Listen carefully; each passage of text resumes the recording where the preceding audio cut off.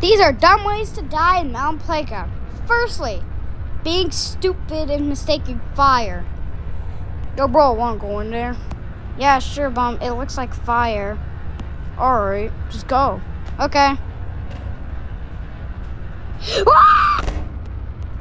Next one, falling from high altitude. I think I said that correctly. Maybe. Yo, bro, you should jump down from there. There's a pool down there. Totally, totally. Are you sure, man? Yes, I'm sure, buddy. You can just do it yourself. Okay. Wait, am I supposed to have a parachute? Nextly, losing in a mech fight. Well, I'm gonna beat you. Man, bro, you're just in a suit. You're not gonna do.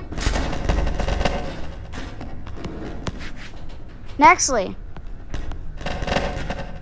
hitting a branch way too hard, or just well, um, suffocating or something.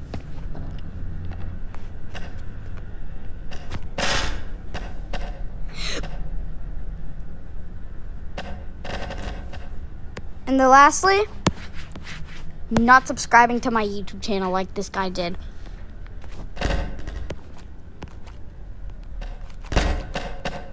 Like and subscribe or you'll end up like this guy.